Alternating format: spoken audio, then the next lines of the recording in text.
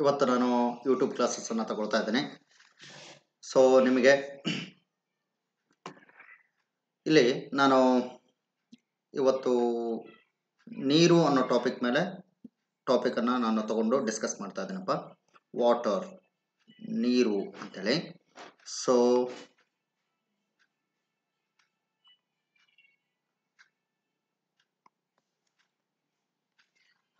ನೀರು ಅನ್ನೋ ಟಾಪಿಕನ್ನು ತಗೊಂಡು ಏನು ಮಾಡ್ತಾ ಇದ್ದೀನಿ ಅಂತ ಹೇಳಿದ್ರೆ ಇವತ್ತು ಡಿಸ್ಕಸ್ ಮಾಡ್ತಾ ಇದ್ದೀನಿ ವಾಟರ್ ಓಕೆ ಸೊ ಅದಕ್ಕೆ ಹೋಗೋಕ್ಕಿಂತ ಮುಂಚೆ ನನ್ನ ಹೆಸರು ನಿರಂಜನ್ ಮೂರ್ತಿ ಅಂತೇಳಿ.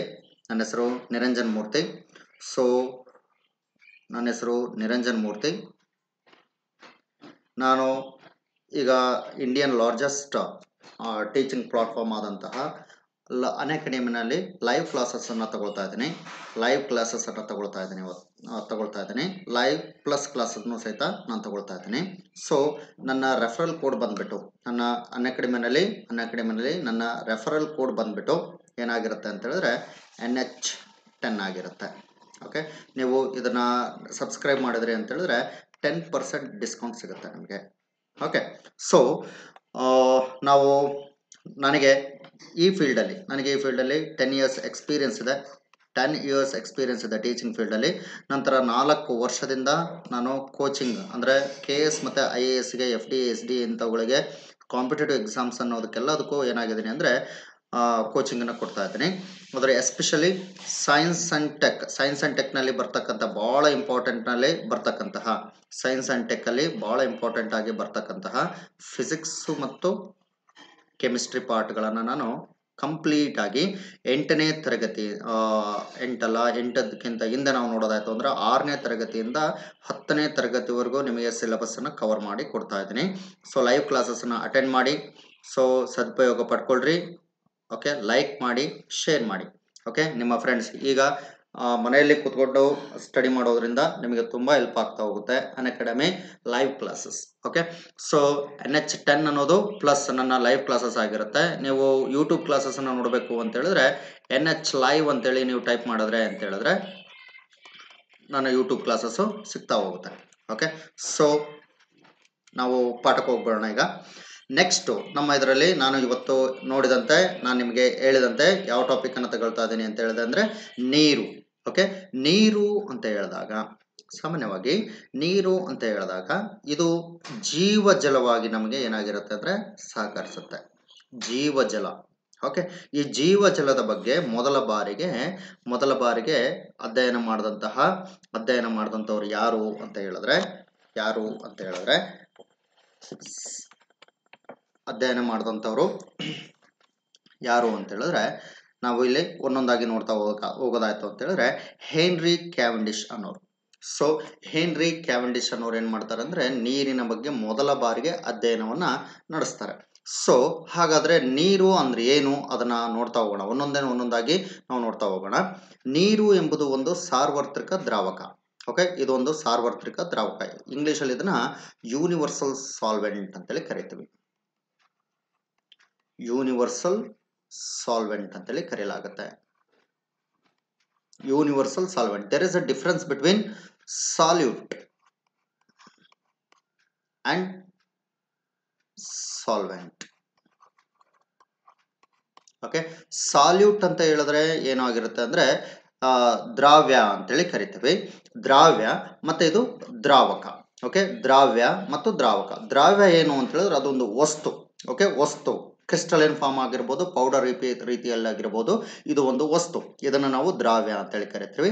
ದ್ರಾವಕ ಅಂತ ಹೇಳಿದ್ರೆ ಕರಗಿಸಿಕೊಳ್ಳುವಂಥದ್ದು. ಹಾಗಾಗಿ ಇದನ್ನು ಕರಗಿಸಿಕೊಳ್ಳುವ ದ್ರಾವಕ ಅಂತೇಳಿ ಕರಿತೀವಿ ಕನ್ನಡದಲ್ಲಿ ಸಾಲ್ವೆಂಟನ್ನು ಇಂಗ್ಲೀಷಲ್ಲಿ ಸಾಲ್ವೆಂಟ್ ಅಂತೇಳಿ ಕರಿತೇವೆ. ಸೊ ಸಾಲ್ವೆಂಟ್ ಅಂತ ಹೇಳಿದಾಗ ಸಾಲ್ವೆಂಟ್ ಅಂತ ಹೇಳಿದಾಗ ದ್ರಾವಕ. ಸೊ ಇದು ದ್ರಾವ್ಯ ಪ್ಲಸ್ ದ್ರಾವಕ. ಅದ ಎರಡೂ ಸೇರಿದಾಗ ಏನಾಗಿರುತ್ತೆ? ದ್ರಾವಣ ಆಗುತ್ತದೆ. ಸೊ ದ್ರಾವ್ಯ ಪ್ಲಸ್ ದ್ರಾವಕ. ಇವೆರಡೂ ಸೇರಿದಾಗ ದ್ರಾವಣ ಅಂತೇಳಿ ನಾವು ತಗೊಳ್ತೀವಿ. ದ್ರಾವಣ ಅಂತೇಳಿ ನಾವು ನೋಡ್ತೇವೆ. ಹಾಗಾದ್ರೆ ಇಂಗ್ಲಿಷಲ್ಲಿ ಇದನ್ನ ಏನಂತ ಕರಿತೀವಿ? ಸೊಲ್ಯೂಷನ್ ಅಂತೇಳಿ ಕರಿತೇವೆ. ಹಾಗಾಗಿ ಸಲು ಸೊಲ್ಯೂಷನ್ ಅಂತ ಯಾವತ್ತು ನಾವು ನೀರನ್ನು ಕರೆದಿಲ್ಲ. ದ್ರಾವಣ ಅಂತೇಳಿ ಯಾವತ್ತು ಕರೆದಿಲ್ಲ. ದ್ರಾವಕ ಸಾರ್ವತ್ರಿಕ ದ್ರಾವಕ ಅಂತೇಳಿ ಕರಿತೇವೆ. ಕಾರಣ ಇಷ್ಟನೇ ದ್ರಾವಕ ಅಂತ ಹೇಳಿದ್ರೆ ಕರಗಿಸಿಕೊಳ್ಳುವಂಥದ್ದು. ಏನನ್ನು ಕರ- ಕರಗಿಸಿಕೊಳ್ಳುತ್ತೆ? ತನ್ನಲ್ಲಿ ಗರಿಷ್ಠ ಮಟ್ಟದ ವಸ್ತುಗಳನ್ನು ಕರಗಿಸಿಕೊಳ್ಳುವಂಥ ಗುಣಲಕ್ಷಣ ಯಾವುದಕ್ಕಿರುತ್ತೆ? ನೀರಿಗಿರುತ್ತೆ. ಆದ್ದರಿಂದ ನಾವು ಏನಂತ ಕರಿತೀವಿ? ನೀರನ್ನು ಸಾರ್ವತ್ರಿಕ ದ್ರಾವಕ ಅಂತೇಳಿ ಕರಿತೇವೆ. ಸೊ ಇದರಲ್ಲಿ ಸಾಮಾನ್ಯವಾಗಿ ನಾವು ಗಮನಿಸೋದಾಯ್ತು ಅಂತ ಹೇಳಿದ್ರೆ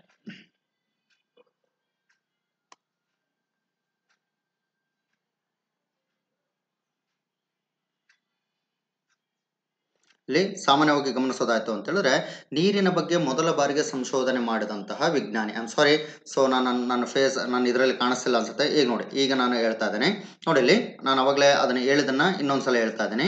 ದ್ರಾವಕ ಅಂತ ಹೇಳಿದ್ರೆ, ದ್ರಾವಕ ಅಂತ ಹೇಳಿದ್ರೆ ಏನ, ಏನಂತ ಕರಿತೀವಿ ಅಂದ್ರೆ ಸಾಲ್ಯೂಟ್ ಅಂತೇಳಿ ಕರಿತೀವಿ. ಕನ್ನಡದಲ್ಲಿ ಇದನ್ನ ದ್ರಾವ್ಯ ಅಂತೇಳಿ ಕರಿತೇವೆ. ಓಕೆ ದ್ರಾವ್ಯ ಅಂತೇಳಿ ಕರೀತಾ, ಕರೆಯಲಾಗುತ್ತೆ.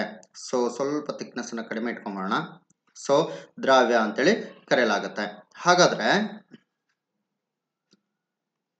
ದ್ರಾವ್ಯ ದ್ರಾವ್ಯ ಅಂತೇಳಿ ಕರಿತೀವಿ. ಇದನ್ನ ದ್ರಾವಕ ಅಂತೇಳಿ ಕರೆಯಲಾಗುತ್ತೆ. ದ್ರಾವಕ. ದ್ರಾವ್ಯ ಪ್ಲಸ್, ಇಲ್ಲಿ ನೋಡಿ, ದ್ರಾವ್ಯ ಸಾಲ್ಯೂಟ್ ಪ್ಲಸ್ ದ್ರಾವಕ ಸಾಲ್ವೆಂಟ್ ಈಸ್ ಈಕ್ವಲ್ ಟು ದ್ರಾವಣ ಸೊಲ್ಯೂಷನ್ ಅಂತೇಳಿ ಕರಿತೇವೆ. ಹಾಗಾಗಿ ನೀರನ್ನು ಯಾವತ್ತೂ ನಾವು ಸೊಲ್ಯೂಷನ್ ಅಂತ ಕರೆಯಲ್ಲ, ದ್ರಾವಕ ಅಂತೇಳಿ ಮಾತ್ರ ಕರಿತೀವಿ ಸ್ನೇಹಿತರೆ. ಸೊ ಹಾಗಾದ್ರೆ ಇಲ್ಲಿ ದ್ರಾವ, ಸಾರ್ವತ್ರಿಕ ದ್ರಾವಕ ಅಂದ್ರೆ ಮೀನಿಂಗ್ ಏನು ಅಂತ ಹೇಳಿದ್ರೆ ಸೊ ತನ್ನಲ್ಲಿ ಗರಿಷ್ಠ ಮಟ್ಟದಲ್ಲಿ ವಸ್ತುಗಳನ್ನು ಕರಗಿಸಿಕೊಳ್ಳುವಂಥ ಗುಣಲಕ್ಷಣ ಇರುವುದರಿಂದ ಅದನ್ನ ಏನಂತ ಕರಿತೀವಿ? ಸಾರ್ವತ್ರಿಕ ದ್ರಾವಕ ಅಂತೇಳಿ ಕರೆಯಲಾಗುತ್ತೆ. ಹಾಗಾದ್ರೆ ನೀರಿನ ಬಗ್ಗೆ ಮೊದಲ ಬಾರಿಗೆ ಮೊದಲ ಬಾರಿಗೆ ಸಂಶೋಧನೆ ನಡೆಸಿದಂತಹ ವಿಜ್ಞಾನಿ ಯಾರು ಅಂತೇಳಿ ನಾವು ನೋಡೋದಾಯ್ತು ಅಂದ್ರೆ, ಹೆನ್ರಿ ಕ್ಯಾವೆಂಡಿಶ್ ಎಷ್ಟರಲ್ಲಿ ಸಾವಿರದ ಏಳ್ನೂರ ಎಂಬತ್ತೊಂದರಲ್ಲಿ. ಹಾಗಾದ್ರೆ ನೀರಿನ ಬಗ್ಗೆ ಅವರು ಹೇಳ್ಕೊಟ್ಟವ್ರು ಏನು ಅಂತ ಹೇಳಿದ್ರೆ ನೀರಿನ ಇವರು ಅಂದ್ರೆ ಹೆನ್ರಿ ಕ್ಯಾವೆಂಡಿಶ್ ಅವ್ರು ಏನು ಮಾಡ್ತಾರೆ ಅಂತ ಹೇಳಿದ್ರೆ ಹೆನ್ರಿ ಕ್ಯಾವೆಂಡಿಶ್ ಅವ್ರು ಏನು ಮಾಡ್ತಾರೆ ಅಂತ ಹೇಳಿದ್ರೆ ನೀರಿನ ಅನುಪಾತವನ್ನ ತಿಳಿಸ್ಕೊಡ್ತಾರೆ ನಮಗೆ. ನೀರಿನ ಅನುಪಾತ ಏನು ಅಂತ ಹೇಳಿದ್ರೆ H two O two is two one ರೇಷೋನಲ್ಲಿ ratio ಅಂತೇಳಿ ಕರಿತೀವಿ ರೇಷೋ ಅಂತೇಳಿ ನಾವು ನೋಡ್ತೀವಿ. ರೇಷಿಯೋ ಅಂತೇಳಿ ನಾವು ಕಾಣ್ತೇವೆ. ಆ ರೇಷಿಯೋ ಎಷ್ಟಿರುತ್ತೆ ಅಂದರೆ ಎರಡು ಇಷ್ಟು ಒಂದು. ಹಾಗಾದರೆ ನೀರಿನ ಅಣುಸೂತ್ರ ಅನ್ನೋ ಅಣು, ಅಣುಸೂತ್ರವನ್ನು ನಮಗೆ ಮೊದಲ ಬಾರಿಗೆ ಪರಿಚಯ ಮಾಡಿಕೊಟ್ಟವ್ರು ಯಾರು ಅಂತ ಹೇಳಿದ್ರೆ ಜಾನಿಕ್ ಯಾರು ಅಂತೇಳಿ, ಇಟಲಿಯವರು. ಇಟಲಿಯವರು. ಓಕೆ ಇಟಲಿಯವರು ಏನು ಮಾಡ್ತಾರೆ ಅಂತ ಹೇಳಿದ್ರೆ ಜಾನಿ ಕ್ಯಾರೋ ಎಂಬುವರು ನೀರಿನ ಅಣುಸೂತ್ರ ಬಗ್ಗೆ ಹೇಳ್ತಾರೆ. ಹಾಗಾದರೆ ಇದರ ರಾಸಾಯನಿಕ ಹೆಸರನ್ನು ನಾವು ನೋಡೋದಾಯಿತು ಅಂದರೆ ನೀರಿನ ರಾಸಾಯನಿಕ ಹೆಸರು, ಸಾಮಾನ್ಯ ಹೆಸರು ನೀರು ಅಂತೇಳಿ. ಓಕೆ ನೀರು ಅಂತೇಳಿ ನಾವು ನೋಡ್ತೀವಿ. ಅದಕ್ಕೆ ಅಣುಸೂತ್ರ ಎಚ್ ಟು ಆದರೆ ರಾಸಾಯನಿಕ ಹೆಸರನ್ನ ನೀವು ಗಮನಿಸೋದಾಯ್ತು ಅಂತ ಹೇಳಿದ್ರೆ ಸೊ ಸಾ, ರಾಸಾಯನಿಕ ಹೆಸರನ್ನ ನೀವು ನೋಡ್ತೀರಾ ಅಂತ ಹೇಳಿದ್ರೆ, ರಾಸಾಯನಿಕ ಹೆಸರು, ನೀರು ಅಂತೇಳಿ ನಾವು ಗಮನಿಸೋದಾಯ್ತು ಅಂತ ಹೇಳಿದ್ರೆ ಸೊ ನೀರು ಅಂತೇಳಿ ನಾವು ನೋಡ್ತಾ ಇದ್ದೀವಿ. ಆ ನೀರು it is nothing but water so hydrogen oxide ಅಂತ ಕರಿತೀವಿ. ಇದು ನೀರಿನ ರಾಸಾಯನಿಕ ಹೆಸರು. ರಾಸಾಯನಿಕ ಹೆಸರು. ಓಕೆ ಸೊ ಹಾಗಾದ್ರೆ ನೀರಿನ ರಾಸಾಯನಿಕ ಹೆಸರು ಇದಾಗಿತ್ತು ಅಂತ ಹೇಳಿದ್ರೆ ನಮ್ಮ ನೆಕ್ಸ್ಟ್ ಕಾನ್ಸೆಪ್ಟ್ ಏನು ಅಂತ ಹೇಳಿದ್ರೆ ನೀರಿನ ನೀರಿನ ಅಣುಸೂತ್ರವನ್ನು ನಾವು ಗಮನಿಸೋದಾಯ್ತು ಅಂತ ಹೇಳಿದ್ರೆ ಎಚ್ ಟು ಆಯಿತು. ಆ ನಂತರ ನೀರಿನ ಗಾತ್ರವನ್ನು ಅಳೆಯೋದಕ್ಕಾಗಿ ನೀರಿನ ವಾಲ್ಯೂಮ್ ಅಂತೇಳಿ ಕರಿತೇವೆ. ಇಂಗ್ಲೀಷಲ್ಲಿ ಇದನ್ನು ವಾಲ್ಯೂಮ್ ಅಂತೇಳಿ ಕರಿತೇವೆ. ಸೊ ನೀರಿನ ಗಾತ್ರವನ್ನು ಅಳೆಯೋದಕ್ಕಾಗಿ ನಾವು ಯಾವ ಇನ್ಸ್ಟ್ರೂಮೆಂಟನ್ನು ಯೂಸ್ ಮಾಡ್ತೀವಿ ಅಂದರೆ ಯೂಡಿಯೋಮೀಟರ್. ಇಂಗ್ಲೀಷಲ್ಲಿ ಇದನ್ನು ಯೂಡಿಯೋಮೀಟರ್ ಅಂತೇಳಿ ಕರೆಯಲಾಗುತ್ತೆ. ಯೂಡೋಮೀಟರ್ ಅಂತಲೇ ಹೇಳ್ಬೋದು. ಯೂಡಿಯೋಮೀಟರ್ ಆಮ್ ಸಾರಿ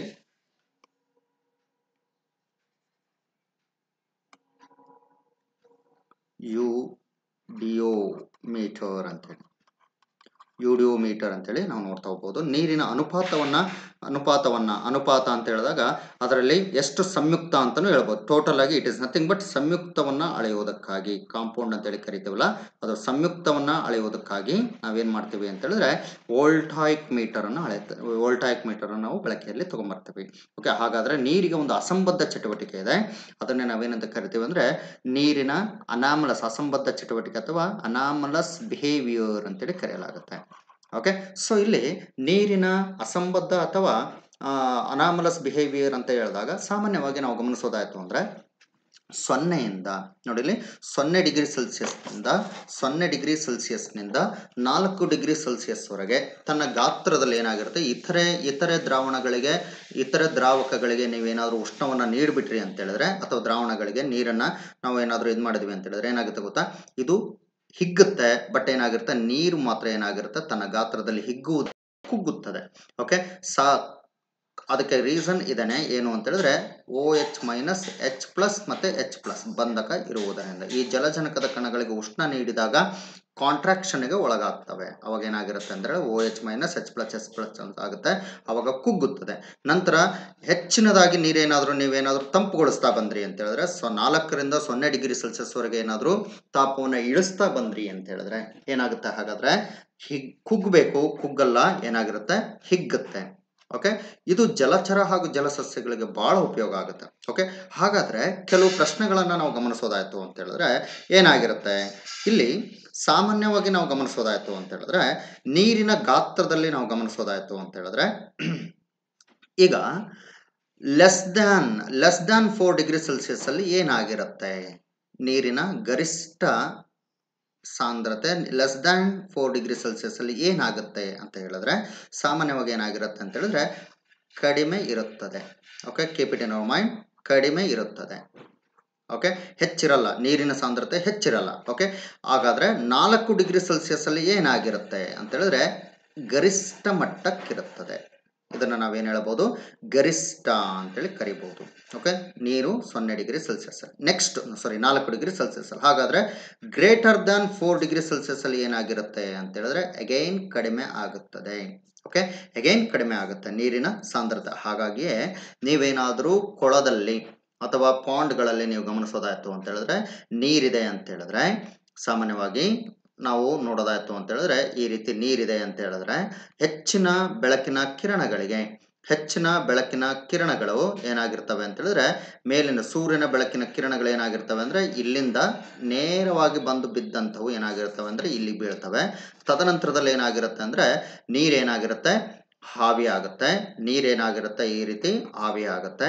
ಆವಿ ಆದ ನಂತರ ಏನು ಮಾಡುತ್ತೆ ಅಂತ ಹೇಳಿದ್ರೆ ಮಳೆಗಳಾಗಿ, ಮಳೆ ಮೋಡಗಳಾಗಿ ಪರಿವರ್ತನೆಗೊಳ್ಳುತ್ತೆ. ಸೊ ಅವುಗಳನ್ನೇ ನಾವು ನೋಡುವಂಥದ್ದು ಮಳೆ ಮೋಡಗಳಾಗಿ, ಈ ರೀತಿ ಮಳೆ ಮೋಡಗಳಾಗಿ ಏನಾಗಿರುತ್ತೆ ಅಂದರೆ ಫಾರ್ಮೇಷನ್ ಆಗ್ತಾ ಹೋಗುತ್ತೆ. ಯಾಕೆ ಅಂತ ಹೇಳಿದ್ರೆ ನೀರು ಏನಾಗಿರುತ್ತೆ ಅಂದ್ರೆ ನಾಲ್ಕು ಡಿಗ್ರಿ ಸೆಲ್ಸಿಯಸ್ನ ದಾಟ್ಬಿಟ್ರೆ ಸಾಕು. ಏನು ಮಾಡುತ್ತೆ ಅಂತ ಹೇಳಿದ್ರೆ ತನ್ನ ಸಾಂದ್ರತೆಯಲ್ಲಿ ಕಡಿಮೆ ಆಗ್ತಾ ಹೋಗುತ್ತೆ. ನಂತರ ಏನಾಗಿರುತ್ತೆ ಅಂದರೆ ಕಡಿಮೆ ಆದಂತಹ ನೀರು ಮೇಲ್ಪದರದ ನೀರು ಏನಾಗಿರುತ್ತೆ ಆವಿಯಾಗಿ ಏನಾಗ್ತಾ ಹೋಗುತ್ತೆ, ಮಳೆ ಆಗಿ ಮೋಡಗಳಾಗುತ್ತೆ ಇಲ್ಲಿ ನೂರು ಡಿಗ್ರಿ ಸೆಲ್ಸಿಯಸ್ ಬೇಕು ಅಂತ ಇಲ್ಲ. ಗೊತ್ತಿರಲಿ ಓಕೆ? ಕುದು, ಕೊತ ಕೊತ ಕೊತ ಕೊತ ಕುದಿಯುತ್ತೇನೋ ನೀರು ಬೆಳಸಿನ ಕಿರಣಗಳಿಗೆ ಸಾಧ್ಯನೇ ಇಲ್ಲಪ್ಪ. ಏನಾಗಿರುತ್ತೆ ಅಂದರೆ, ಸಾಮಾನ್ಯವಾಗಿ ಏನಾಗಿರುತ್ತೆ ಅಂತ ಹೇಳಿದ್ರೆ, ಅದು ನೀರು, ಬೆಳೆ ಮೇಲ್ಪದರದ ನೀರು ಚೆನ್ನಾಗಿ ಕಾದೇನಾಗಿರುತ್ತೆ, ಹಾವಿ ಆಗಲಿಕ್ಕೆ ಶುರುವಾಗುತ್ತೆ. ಸೊ ಅದನ್ನೇ ನಾವಿಲ್ಲಿ ಡಿಸ್ಕಸ್ ಮಾಡುವಂಥದ್ದು. ಓಕೆ ಸೊ ನೆಕ್ಸ್ಟ್ ನಾವು ಗಮನಿಸೋದಾಯ್ತು ಅಂದರೆ ನೀರಿನ ಗರಿಷ್ಠ ಸಾಂದ್ರತೆಯನ್ನು ನಾವು ಗಮನಿಸೋದಾಯ್ತು ಅಂತ ಹೇಳಿದ್ರೆ, ನೀರಿನ ಗರಿಷ್ಠ ಸಾಂದ್ರತೆ ಇಲ್ಲಿ ನಾವು ನೋಡೋದಾಯ್ತು ಅಂತ ಹೇಳಿದ್ರೆ ಎಷ್ಟಾಗಿರುತ್ತೆ? ನೀರಿನ ಗರಿಷ್ಠ ಸಾಂದ್ರತೆ ಎಷ್ಟರಲ್ಲಿ? ನಾಲ್ಕು ಡಿಗ್ರಿ ಸೆಲ್ಸಿಯಸ್ ಅಲ್ಲಿ. ಮೋಸ್ಟ್ ರಿಪೀಟೆಡ್ ಕ್ವಶನ್ ಇದು. ಓಕೆ ನೀರಿನ ಗರಿಷ್ಠ ಸಾಂದ್ರತೆ ನಾಲ್ಕು ಡಿಗ್ರಿ ಸೆಲ್ಸಿಯಸ್ ಅಲ್ಲಿ. ನಾಲ್ಕು ಡಿಗ್ರಿ ಸೆಲ್ಸಿಯಸ್ ಅಲ್ಲಿ ಎಷ್ಟಿರುತ್ತೆ? ಒಂದು ಸಾವಿರ K G per metre cube ಆಗಿರುತ್ತೆ. ಓಕೆ ಒಂದು ಸಾವಿರ K G per metre cube ಇದು ಕ್ಯಾಲ್ಕುಲೇಟೆಡ್ ವ್ಯಾಲ್ಯೂ ಆ್ಯಕ್ಚುಲಿ ಕ್ಯಾಲ್ಕುಲೇಟೆಡ್ ವ್ಯಾಲ್ಯೂನ ನಾವು ನೋಡೋದಾಯ್ತು ಅಂದರೆ ಒಂಬೈನೂರ ತೊಂಬತ್ತೇಳು K G per metre cube but ಇದನ್ನು ಕ್ಯಾಲ್ಕುಲೇಷನ್ ಪರ್ಪಸ್ಗೋಸ್ಕರ ನಾವೇನು ಮಾಡ್ತೀವಿ? ಈ ರೀತಿ ಇಡಲಾಗುತ್ತೆ. ಸೊ ಒಂದು ಸಾವಿರಕ್ಕೆ ಏನು ಮಾಡ್ತೀವಿ ಅಂದರೆ ಅದನ್ನು ಅಪ್ರಾಕ್ಸಿಮೇಟ್ ಮಾಡ್ತವೆ. ಸೊ ಹಾಗಾದರೆ ನೀರು, ಬಿಸಿ ನೀರು ಅಂತ ಹೇಳಿದಾಗ, ಮೋ greater than greater than forty five degree Celsius ಅಂತ ಹೇಳಿದಾಗ ಏನಾಗ್ಬಿಡುತ್ತೆ ಅಂತ ಹೇಳಿದ್ರೆ ನೀರಿನ ಗರಿಷ್ಠ ಸಾಂದ್ರತೆ ಎಷ್ಟಾಗುತ್ತೆ ಅಂದ್ರೆ ಒಂಬೈನೂರ ಐವತ್ನಾಲ್ಕು K G per metre cube ಆಗಿರುತ್ತದೆ ಸೊ ಹಾಗಾಗಿ ಏನಾಗಿರುತ್ತೆ? ನೀರಿನ ಸಾಂದ್ರತೆ ಪುನಃ ಒಂದು ಸಾವಿರ ಇರಲ್ಲ, ಕಡಿಮೆ ಆಗ್ತಾ ಹೋಗುತ್ತೆ. Greater than four degree Celsius ಆದ ನಂತರ ನಾವು ನೋಡುವಂಥದ್ದು. ಓಕೆ ಸಾಮಾನ್ಯ ತಾಪದಲ್ಲಿ ನಾವು ನೋಡತಕ್ಕಂಥದ್ದು. ಹಾಗಾದ್ರೆ ನಮ್ಮ ನೆಕ್ಸ್ಟ್ ಇದರಲ್ಲಿ ನೋಡೋದಾಯ್ತು ಅಂತ ಹೇಳಿದ್ರೆ ನೀರನ್ನ. ನೋಡಿ, ನೀರನ್ನು ಥರ್ಮಾಮೀಟರ್ಗಳಲ್ಲಿ, ಥರ್ಮಾಮೀಟರ್ನಲ್ಲಿ ಬಳಸುವುದಿಲ್ಲ. ಏಕೆ? ಇದು ರೀಸನ್ ಅನ್ನ ಕೇಳೋದಾಯ್ತು ಅಂದ್ರೆ ಸೈಂಟಿಫಿಕ್ ರೀಸನ್ ಅನ್ನ ನಾವು ಕೊಡಬಹುದು. ನೀರಿನ ಘನೀಕರಣ ಬಿಂದು ಎಷ್ಟಿರುತ್ತಪ್ಪ? ಸೊನ್ನೆ ಡಿಗ್ರಿ ಸೆಲ್ಸಿಯಸ್. ಹಾಗಾದರೆ ಪಾದರಸದ, ಪಾದರಸ ನೀರನ್ನು ಯಾಕೆ ಬದಲಾಗಿ ಪಾದರಸವನ್ನು ಯಾಕೆ ಬಳಕೆ ಮಾಡ್ತಾರೆ ಅಂತ ಹೇಳಿದ್ರೆ ಪಾದರಸ ಅಂತ ಹೇಳ್ತೀವಿ. ಪಾದರಸ ಅಂತ ಹೇಳಿದಾಗ ಎಚ್ ಜಿ ಏನು ಎಷ್ಟಿರುತ್ತೆ? ನೀರಿನ ಘನೀಕರಣ ಸಾರಿ ಪಾದರಸದ ಘನೀಕರಣ ಬಿಂದು ಅಂದರೆ ಮೈನಸ್ ಮೂವತ್ತೆಂಟು ಪಾಯಿಂಟ್ ಎಂಟು ಡಿಗ್ರಿ ಸೆಲ್ಸಿಯಸ್ ಇದು ಏನಾಗಿರುತ್ತೆ ಅಂದರೆ ಗರಿಷ್ಠ. ನೋಡಿಲಿ ಸೊನ್ನೆಯಲ್ಲಿ ಮೈನಸ್ ಅಲ್ಲಿ. ಸೊ ಹಾಗಾಗಿ ಏನಾಗಿರುತ್ತೆ? ನೀರಿನ ಗರಿಷ್ಠ, ನೀರಿನ ಘನೀಕರಣ ಬಿಂದು ಎಷ್ಟು ಅಂದರೆ ಸೊನ್ನೆ ಡಿಗ್ರಿ ಸೆಲ್ಸಿಯಸ್ ಬಟ್ ಪಾದರಸದ ಕುದಿಯೋ ಬಿಂದು ಮೂರು, ಮುನ್ನೂರ ಐವತ್ತೇಳು ಡಿಗ್ರಿ ಸೆಲ್ಸಿಯಸ್ ಅಂತೇಳಿ ಪಾದರಸದು. ಆದರೆ ನೀರು ಅಂತ ಬಂದಾಗ ನೀರಿನ ಘನೀಕರಣ ಬಿಂದು ಎಷ್ಟು ಸಾರಿ ನೀರಿನ ಕುದಿಯೋ ಬಿಂದು ಎಷ್ಟು ಅಂತ ಹೇಳಿದಾಗ ಹಂಡ್ರೆಡ್ ಡಿಗ್ರಿ ಸೆಲ್ಸಿಯಸ್ ಅನ್ನು ನಾವು ನೋಡಲಾಗುತ್ತೆ. ಇದು ಒಂದು ರೀಸನ್ ಓಕೆ ನಂತರ ಇನ್ನೊಂದು ರೀಸನ್ ಏನು ಅಂತ ಹೇಳಿದ್ರೆ, ಮೇಲ್ಗಡೆ ನಾನು ಬರ್ತಿದ್ದೇನೆ ಅನಾಮಲಸ್ ಬಿಹೇವಿಯರ್ ಅನ್ನ ನಾವು ಗಮನಿಸಿದ್ವಿ ಸೊ ಅನಾಮಲಸ್ ಬಿಹೇವಿಯರ್ ಅಂತ ನಾವೇನು ನೋಡೋದ್ವಲ್ಲಪ್ಪ? ಈ ಅನಾಮಲಸ್ ಬಿಹೇವಿಯರ್ ಇಂದಾಗಿ ನೀರಿನ, ನೀರಿನಲ್ಲಿ, ನೀರಿಗೆ ಇರುವಂತಹ ಅಸಂಬದ್ಧ ಚಟುವಟಿಕೆಯಿಂದಾಗಿ ಏನಾಗಿರ್ತೀವಿ ಅಂತ ಹೇಳಿದ್ರೆ, ನಾವೇನ್ ಮಾಡಲ್ಲ, ನೀರನ್ನ ಬಳಸಲ್ಲ. ಯಾಕೆಂದ್ರೆ ಸೊನ್ನೆಯಿಂದ ನಾಲ್ಕು ಡಿಗ್ರಿ ಸೆಲ್ಸಿಯಸ್ಗೆ ಏನಾಗಲ್ಲ, ಇದು ಹಿಗ್ಗಲ್ಲ ಎಕ್ಸ್ಪಾನ್ಷನ್ ಪವರ್ ಇರಲ್ಲ. ಕಾರಣ ಇಷ್ಟನೇ. ನೋಡಿ, ಏನು ಅಂತ ಹೇಳಿದ್ರೆ, ಇದಕ್ಕೆ ಇನ್ನೊಂದು ರೀಸನ್ ಕೊಡಬಹುದು. ಏನೇನು ರೀಸನ್ ಒಂದು ಅಸಂಬದ್ಧ ಚಟುವಟಿಕೆ. ಈ ಈ ಪ್ರಶ್ನೆಗೆ ಉತ್ತರ ಏನು ಅಂತ ಹೇಳಿದ್ರೆ ಒಂದು ಅಸಂಬದ್ಧ ಅನ್ನೋದನ್ನ ಕೊಡಬಹುದು. ಓಕೆ ನೀರಿಗೆ ಇರ್ತಕ್ಕಂಥ ಅಸಂಬದ್ಧ. ಎರಡನೇದೇನು ಅಂತ ಹೇಳಿದ್ರೆ ಮೆಲ್ಟಿಂಗ್ ಪಾಯಿಂಟ್ ಮತ್ತೆ ಬಾಯ್ಲಿಂಗ್ ಪಾಯಿಂಟ್ ಘನೀಕರಣ ಮತ್ತು ಘನೀಕರಣ ಘನೀಕರಣ ಮತ್ತು ಇನ್ನೊಂದೇನು ಅಂತ ಹೇಳಿದ್ರೆ ಕುದಿಯುವ ಬಿಂದು. ಕುದಿಯುವ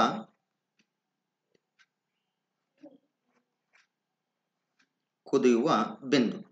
ಓಕೆ ಸೊ ಕುದಿಯುವ ಬಿಂದುವನ್ನು ನಾವು ನೋಡ್ತೇವೆ. ಎರಡನೇ, ಮೂರನೇದು ಇನ್ನೊಂದು ಏನನ್ನ ಕೊಡಬಹುದು ಅಂತ ಹೇಳಿದ್ರೆ, ನೀರು ಏನು ಅಂತ ಹೇಳಿದ್ರೆ, ನೀರು ಏನು ಗೊತ್ತಾ? It is not it is not homogeneous ಅಂದ್ರೆ ಒಂದೇ ಅಲ್ಲ, ಮೂಲ ವಸ್ತು ಅಲ್ಲ ಇದು. ನೀರು ಏನು ಅಂತ ಹೇಳಿದ್ರೆ, ಸಂಯುಕ್ತ ವಸ್ತು. ಓಕೆ ಕಾಂಪೌಂಡ್ ಇದು.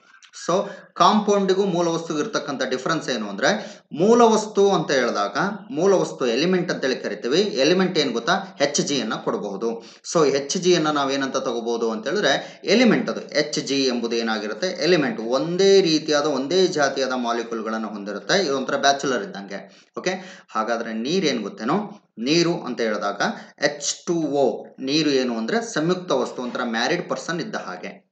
ಓಕೆ ಸೊ ಬ್ಯಾಚುಲರ್ ಇದ್ದಾಗ ಏನಾಗಿರುತ್ತೆ ಅಂತ ಹೇಳಿದ್ರೆ, ಅವನೇನಾದ್ರು ಹೊರಗೆ ರೂಮ್ ಮಾಡ್ದ ಅಂತ ಹೇಳಿದ್ರೆ, ಅಥವಾ ಹೊರಗೆ ಬಂದ ಅಂತ ಹೇಳಿದ್ರೆ ಅವನನ್ನು ಅವನು ಕೇ, ಯಾರನ್ನು ಕೇಳೋ ಅವಶ್ಯಕತೆ ಇಲ್ಲ. ಓಕೆ ಆದರೆ ಆದರೆ ಆದರೆ ನೀರು ಹಾಗಲ್ಲ.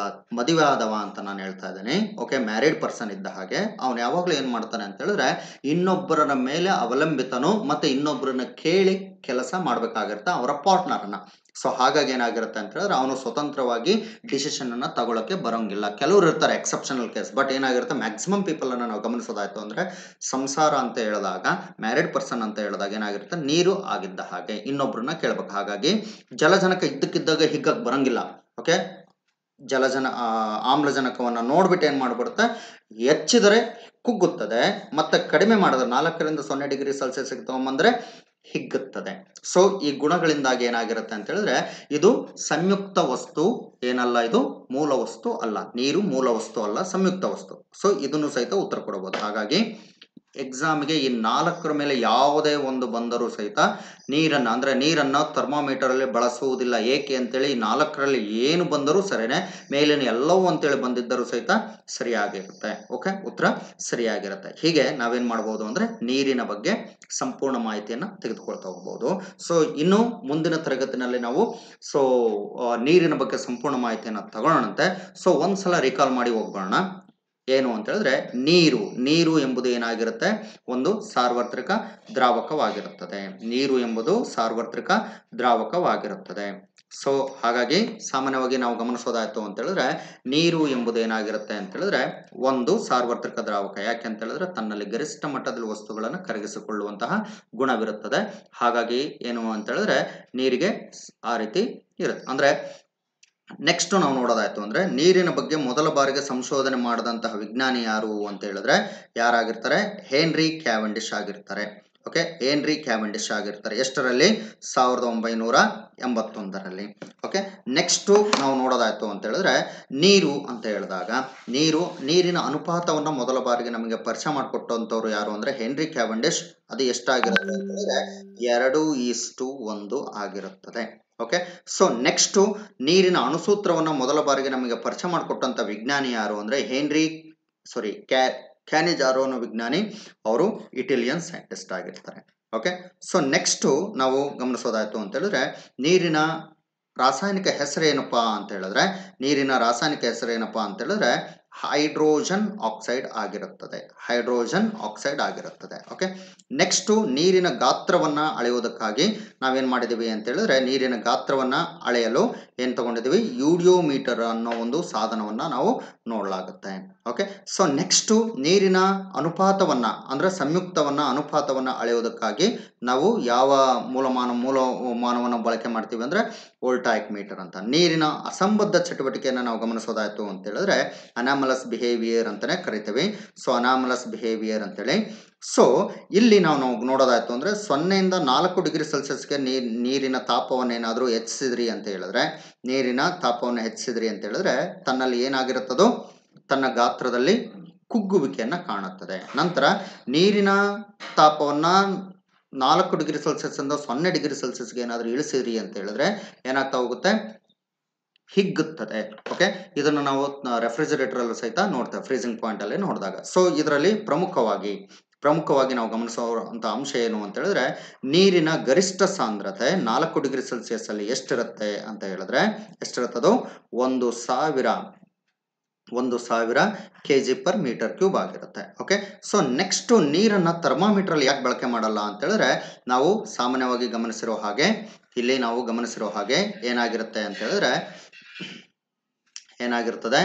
ಸೊ ನೀರಿನ ಅಸಂಬದ್ಧ ಚಟುವಟಿಕೆಯನ್ನ ನಾವು ನೋಡೋದಾಯ್ತು ಅಂದರೆ, ನೀರಿನ ಅಸಂಬದ್ಧ ಚಟುವಟಿಕೆ ಇದಕ್ಕೆ ರೀಸನ್ ಆಗುತ್ತೆ ಘನೀಕರಣ ಮತ್ತು ಕುದಿಯುವ ಬಿಂದುಗಳಲ್ಲಿ ವ್ಯತ್ಯಾಸವನ್ನು ಕಾಣ್ತಾ ಹೋಗ್ತೀವಿ. ನಂತರ ನೀರಿನ ಸಂಯುಕ್ತ ವಸ್ತು, ನೀರು ಒಂದು ಸಂಯುಕ್ತ ವಸ್ತು ಆಗಿರೋ ಇವೆಲ್ಲ ರೀಸನ್ಗಾಗಿ ಏನು ಮಾಡ್ತೀವಿ? ನೀರನ್ನು ಥರ್ಮಾಮೀಟ್ರಲ್ಲಿ ಏನು ಮಾಡಲ್ಲ ನಾವು?